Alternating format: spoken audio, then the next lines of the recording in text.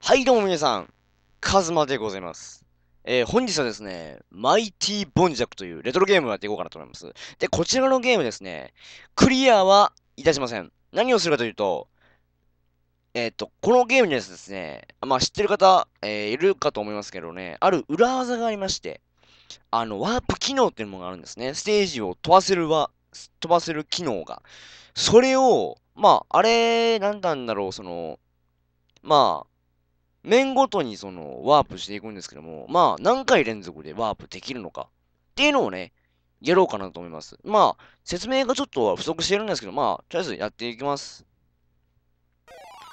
これは通常のノーマルステージですね。で、これのもう一個に、もう一個、あの、これをクリアした後に、あの、王家の間というのがありまして、王家の間だったかな忘れちゃったけど、そっちの方で、ある特定の条件を満たすと、ワープすることができるんですね。というのも、これ、普通に今こうやってプレイしますよね。これの、この面を飛ばして、次に進むことができるんですね。だから要するに、このステージを、このノーマルのステージを飛ばして、王家の間だけクリアしていく。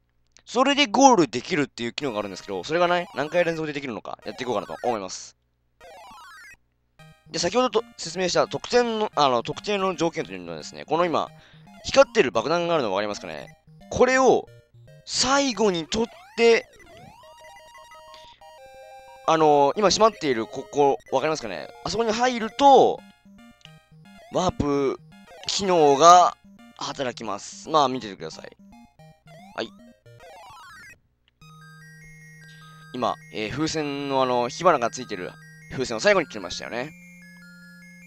これで、ほら、普通だと、もう一回、あの、なんて言うんでしょう。あの、通常のノーマルの方をクリアしてからこのステージに来ないといけないんですけども、先ほどやったワープのおかげで、それを飛ばすことができたんですね。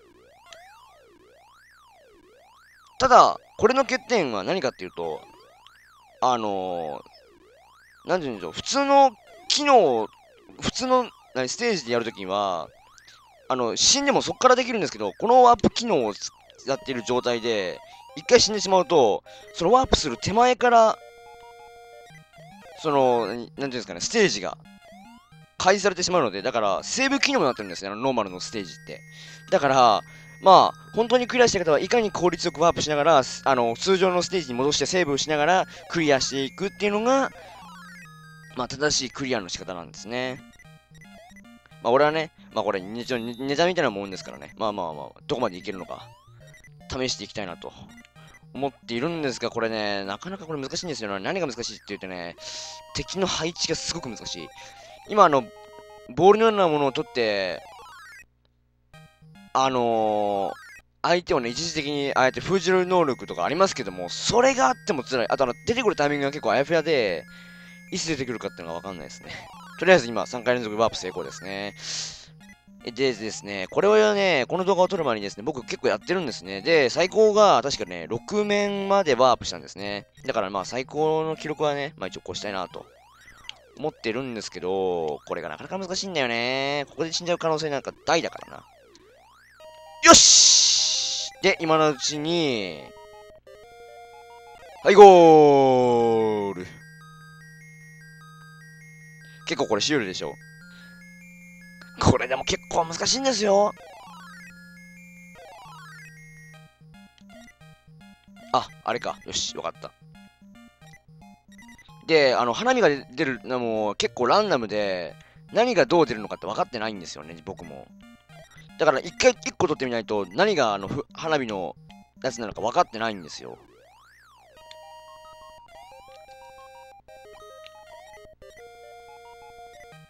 ちょっと待ってよしうぶく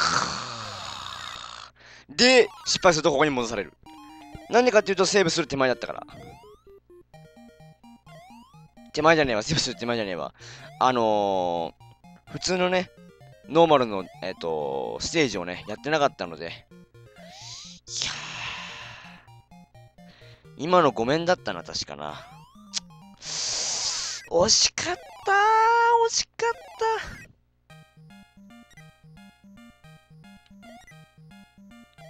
これ結構ね、操作がね、微妙でしてね、これ普通、普通っていうか、これあの、今浮遊してる状態があるじゃないですか。これって A ボタンを連打して浮遊してるんですよ。この A ボタンの連打の、おー見極め方がむずいんだよな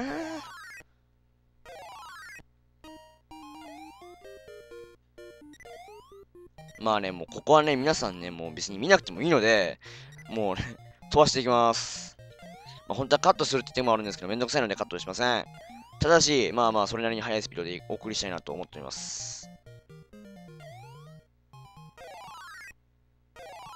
はい、こっからね、本番だから。こっから本番だからね、俺は。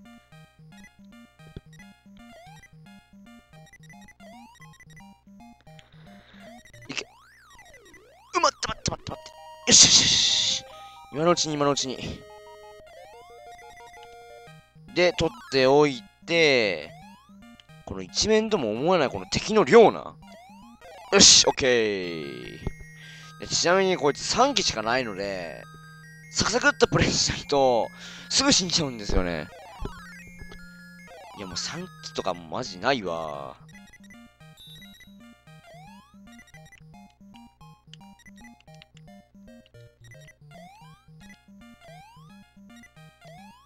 だからまあ、いかにね、効率よく取っていくかが結構キーポイントなんですけども、敵剣の配置が多すぎて取れないんだよね、これがまた。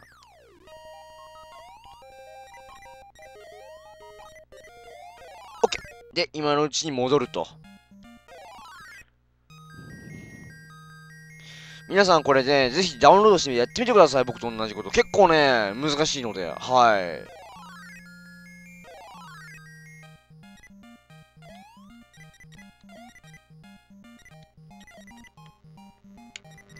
結構これ黙る。うん。いや、ていうか、レトロゲームは大体黙っちゃうんだよね。まあ、レトロゲームはもう限らずだけどね、ゲーム真剣にやってるとやっぱり黙っちゃうよね。落ちるなよよーいけよしいやいやいやいやいやいやいやいや。いいんじゃないですか？結構サクサクなんじゃないでしょうか？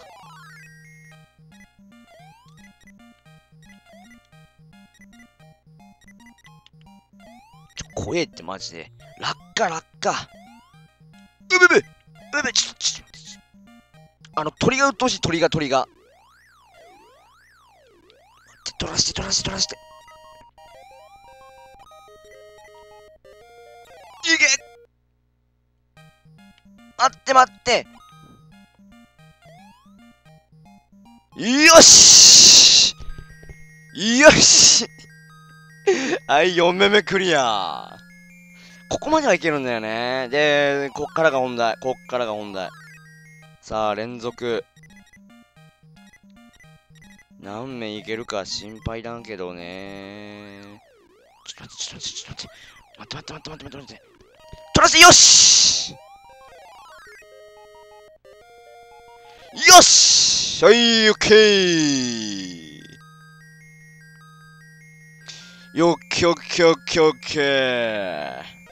はい、次こっから、危ね危ね危ね危ね危ね危ね危ね。もうこれがあるからほんと怖いんだよな、マイティポンジャック。まあ、といってもこんな親切なワープ機能を、ね、やってくれるゲームなんかあんまないんですけどね、言うて。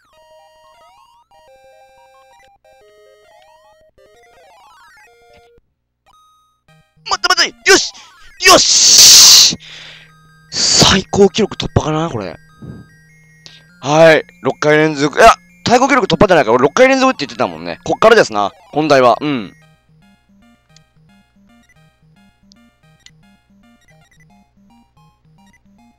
ここじゃあっさり死ぬわけにはいかないから、慎重に行きたいんですけどね。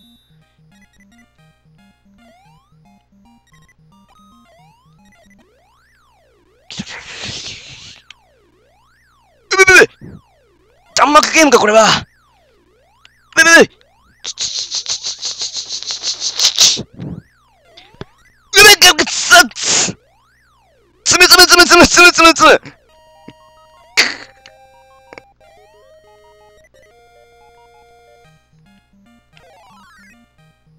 早くダメしろいけよし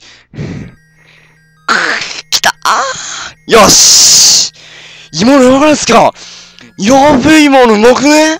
うまくね？うまくね今のうまくねこれお前結構お前取りたかだぞ、お前今の。え、え、ちょっと待って、ちょっと待って、ちょっと待って。べべべ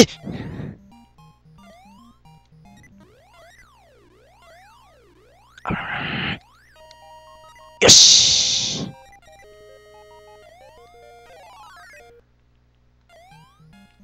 こっちかな、こっちかな、こっちかな、こっちかな。いけよしよしワールド8クリアオッケー、いい調子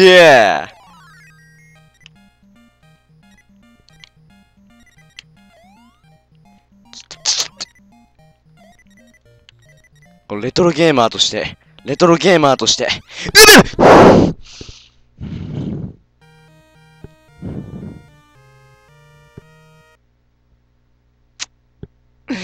やっちゃったよ、もう。はい。ということで、僕は、えー、最高ワールド9までできたからね、えっ、と、連続で8回成功しました。